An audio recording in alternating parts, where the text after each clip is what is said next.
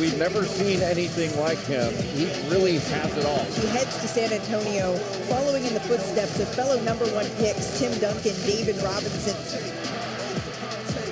I'm, I'm going to try and learn as quick as possible because I want to win that ring. Take COVID.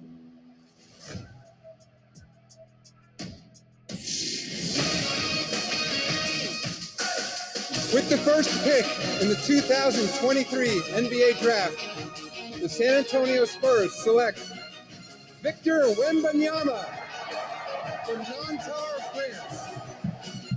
That's how it sounded as the Spurs drafted Victor Wembanyama, number one overall. Brandon Miller went two to the Hornets, and the Blazers took Scoot Henderson, three. Thompson twins. Amen went four to Houston. His brother Ausar went Ausar went fifth to the Pistons. They became the first brothers to be drafted in the top five of the same draft since the 1976 ABA NBA merger. Meantime, Kawhi Leonard underwent a cleanup procedure on the torn meniscus in his right knee and is expected to be 100% ready for LA Clippers training camp in October. Clippers president of basketball operations, Lawrence Frank, said that the team's franchise forward, quote, feels great has an eight week recovery timetable from when he underwent the procedure on June 6th. He ought to be ready to go. The Chicago Bulls, however, do not expect Lonzo Ball to be ready to go at all next year. Ball 25 missed all the 2022 23 season, underwent cartilage transplant surgery on his left knee in March, the third surgery on his knee since he appeared in his last game on January 14th, 2022. That is a shame. He is a good basketball player, man. Just career getting destroyed by injuries. Only 25 still. Sports Center is presented by Progressive Insurance, insurance for motorcycles, boats, and RVs. For protection on the road and on the water, see how much you can save at 1 800 Progressive and Progressive.com. Listen, baby, ain't no mountain high, ain't no valley This is Keyshawn, J. Will, and Max coming to you live from the Seaport District at Pier 17, brought to you by Chase.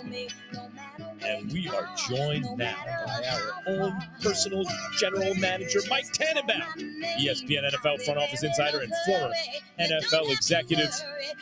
He was he was the GM of what, by Jet standards, must seem like a dynasty. They went to an AFC Championship game for crying out loud. Mike Tannenbaum, ladies and gentlemen, what's up, Mike T? Mike T. Good morning, gentlemen. How are we doing? Good. Real, real quick, Mike T. It's an ongoing theme here at the show. Do you go to barbecues or cookouts during the summertime? Which one? I'm available for both. You know, I think it's uh, more barbecues in the South, Yeah. but I'm available for cookouts. It's a little bit like both. Tannenbaum or Tannenbaum, right?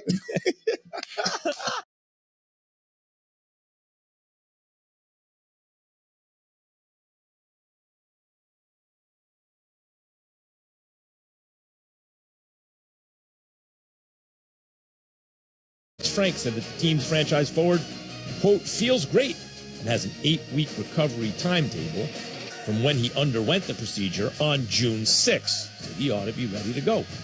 The Chicago Bulls, however, do not expect Lonzo Ball to be ready to go at all next year.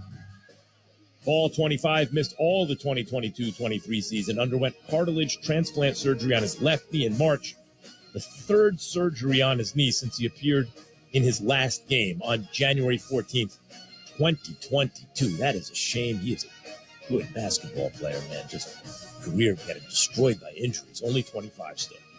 Sports Center is presented by Progressive Insurance, insurance for motorcycles, boats, and RVs.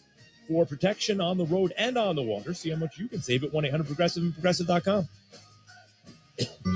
Listen, baby,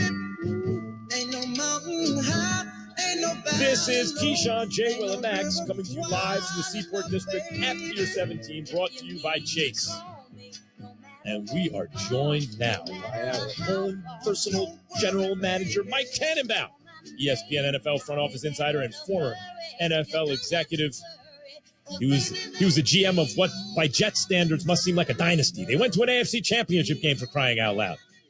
Mike Tannenbaum, ladies and gentlemen, what's up, Mike T? Mike T. Good morning, gentlemen. How are we doing? Good. Real, real quick, Mike T. It's an ongoing theme here at the show. Do you go to barbecues or cookouts during the summertime? Which one? I'm available for both. You know, I think it's uh, more barbecues in the South, but I'm available for cookouts. It's a little bit like Tannenbaum or Tannenbaum, right?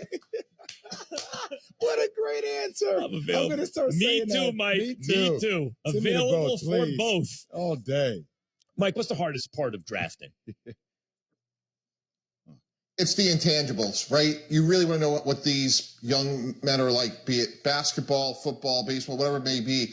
You know, Coach Belichick always said fundamentally the best guys. When you draft a player, the two things they're going to have more at the pro level than the college level is more time and more money. And how are they going to handle those two things? Some are going to thrive and want to get better, and some aren't. So you want to be able to tear these people in half and see what oozes out of them. Are they competitors? Are they selfless? Um, what are what's their makeup? Why do they want to be great?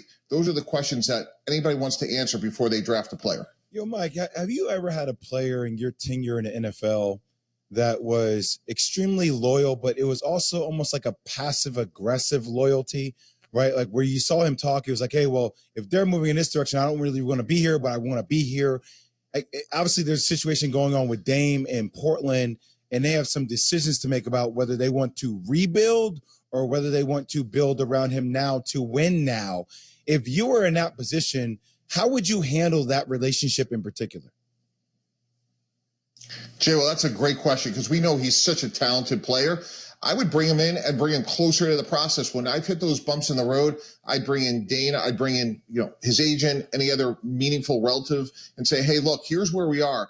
We can move forward together. We could try to bring in another meaningful piece and try to win and compete with the Golden States and the Denvers of the world. Or if that doesn't make sense to you, like tell us. And then we're to try to maximize, you know, while we want to do what's good for you, we got to do what's best for us as well. So let's just have an earnest conversation. Let's put all the cards on the table and then let's try to move forward shoulder to shoulder and try to do something meaningfully here. Here's our plan. If you have a problem with that, let's talk about it here and then we could adjust accordingly. That's the thing about Mike T. If he was a- an NBA GM, is even if they were capped out, you know what he would do, Jay? He would scour.